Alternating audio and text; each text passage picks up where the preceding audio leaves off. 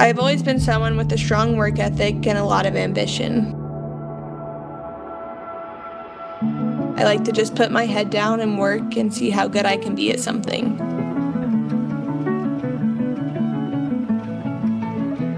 I think CrossFit is something special, and there's something about it that keeps me coming back for more.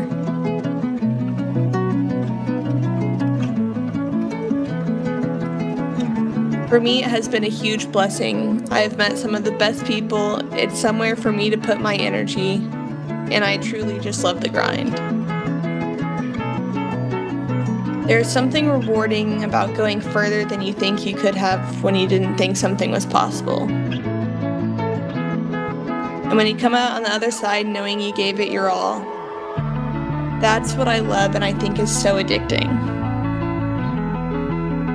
In the end, the Lord has given me this passion, and as long as He continues to guide me in this and open the doors that He has for me, I will take those steps forward. Who knows what's to come, but all glory to God for what does.